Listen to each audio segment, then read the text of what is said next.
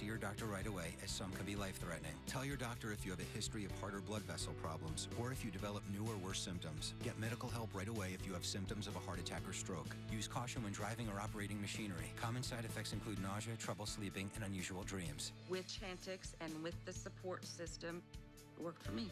Ask your doctor if Chantix is right for you. Discover what makes a Lincoln a Lincoln during the Lincoln Sales Event. Get exceptional offers on the 2013 Lincoln MKZ and your first month's payment compliments of the Lincoln Motor Company.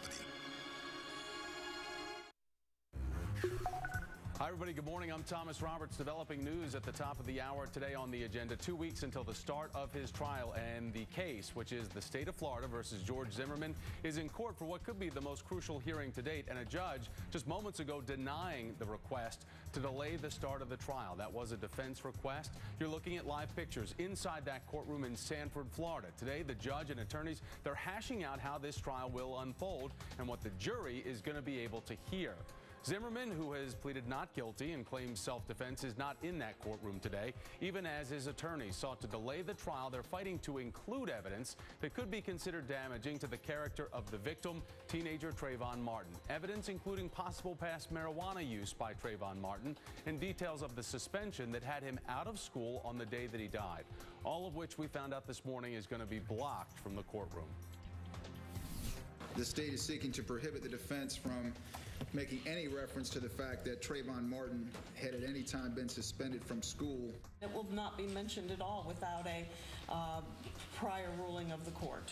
Any communications or evidence that Trayvon Martin had used marijuana in the past, we're asking the court to exclude that. Previously used marijuana, the state's motion will be granted. That will not come in.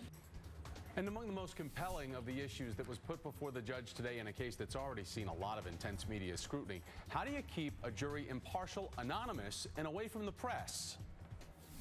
The concern um, that I have is, again, in making sure that within the context of an extraordinarily high profile and highly publicized case, that the six people who really need to do their job on this case fairly and impartially are as protected from those external pressures as we can make them. I don't know how that's physically going to, how we're going to do that. Just from a logistics standpoint, how are you going to sequester for what, three, four weeks? We're going to book people into hotels or somewhere. It's, it's impossible.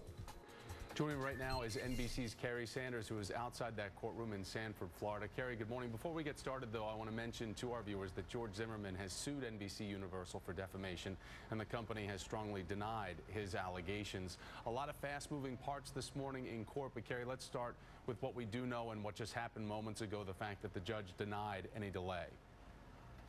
And that means that things are set for two weeks from now. Uh, in that Monday morning, there will be 500 potential jurors who will be summoned here to the courthouse in Sanford, Florida, and they will walk in and they will begin what's called the voir dire process. That is where uh, the prosecutors and the defense get to interview the potential jurors. In this particular case, the judge has ordered that there will be no names released and that the cameras will not be allowed to show the faces of the potential jurors in the courtroom. 500 people coming into the courthouse with cameras everywhere. There will be pictures, no doubt, taken of them going into the courthouse. That's one thing that the uh, judge did not address. There will be a hearing on how this is all going to be handled. Uh, there is an attorney here representing the media. Florida has a very open record state where just about everything is presented for public inspection, which means that cameras and reporters can show and reveal just about everything in the judicial process. So this is somewhat unusual, however, not unprecedented. Kerry, is the defense having a bad morning so far, not getting the delay that they requested? They wanted to be able to use that time to gather more evidence and also a lot of the evidence issues concerning Trayvon Martin not going to be considered, not going to be brought up in the courtroom yeah. when they're trying to bring up issues with potential past marijuana use and things like that. Yeah, things are not necessarily going their way, but um, it is not sort of set in stone that like past marijuana use will not necessarily make its way back into the courtroom or photographs like these. These are photographs uh, taken from Trayvon Martin's uh, cell phone, and you can see in these pictures that he's uh, blowing smoke. There's pictures of a marijuana plant. There's pictures of a pistol.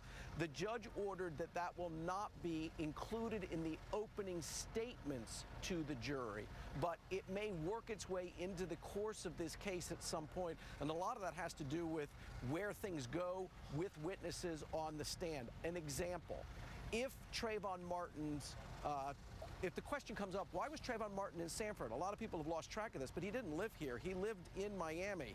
Why was he in Sanford visiting his father who was with his girlfriend? Well, it was because he had been suspended from school and he'd been suspended from school for marijuana use. If the state in somehow brings up that question, then it may need to be answered to the jury's satisfaction, and the judge will rule, she says, at that time of whether the defense can bring it up. So while it won't be included in the opening statements, uh, uh, Thomas, we may indeed see it part of this case. And Kerry, real quickly, George Zimmerman not in that courtroom today. Why is that? Do we know? Uh, I don't have a specific answer as to why he's not obligated to be in the courtroom, and so he's not here today. Kerry Sanders reporting from Sanford, Florida. Kerry, thanks so much. I want to bring into our conversation now Paul Henderson, a prosecutor. And Paul, as a prosecutor, and you're hearing what's going on this morning, a lot of fast-moving developments, but the judge is being very decisive in her rulings. What do you make of the character evidence the defense has been trying to get submitted in the court today for trial and the fact that the judge has already ruled out most of the pieces of evidence, such as Trayvon Martin's school records? You know, it was pretty predictable, but I'm disappointed that what they tried to present was evidence that they knew or should have known was never going to be allowed in this courtroom. And so to me, it's a disingenuous attempt to taint the jury pool, to try and portray their client in a more favorable manner by messing up the uh, victim in this case, are trying to make him look bad.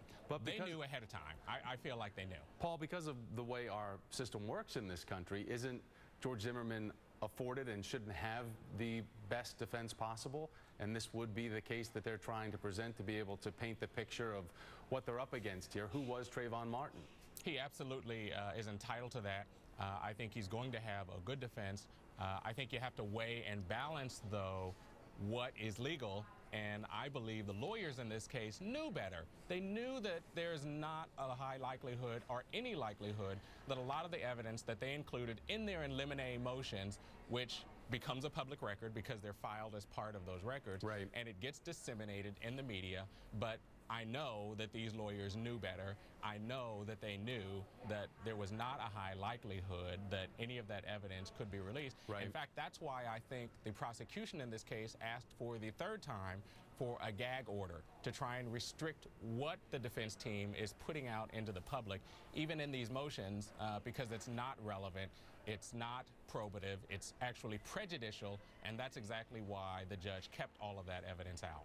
All right, so since Trayvon Martin's shooting, Paul, it came to the forefront. Uh, certainly, uh, a lot of conversations in this country have been had and creates a visceral reaction for a lot of people. But when we look at the evidence and talk about that, there is a question of whose voice is heard in the background of a 911 call, whose voice is heard calling out for help. And if both sides are able to agree on voice analysis experts and, and one in general, is there a chance that the identity of that person screaming could really close the case, or are there other prominent pieces of evidence that could sway for either side? Is it really all down to the voice? Who was calling for help? Uh, it really is one of the linchpins in this case. And obviously, the prosecution has their experts already lined up and they've turned that information over. What you're seeing now is the defense team trying to challenge that expert and challenge uh, the prosecution's conclusion that it is Trayvon Martin's voice. And the reason that that's important is because they know that that's going to be very influential to a jury to make a determination as to who was calling for help, right? Because when you're evaluating who was the aggressor in a fight or who was acting inappropriately in a conflict, one of the things that you're going to be listening for is, is who was actually screaming out, asking for aid and assistance. And in this case, I think what we're going to see is a continued fight mm-hmm. over that tape and a continued fight challenging the prosecution's witness and analysis, determining that it was Trayvon Martin that was actually the one calling for help, asking for assistance, and being abused or threatened or being fought, uh, and ultimately, obviously, being shot uh, in this case. And that's why it's going to be important.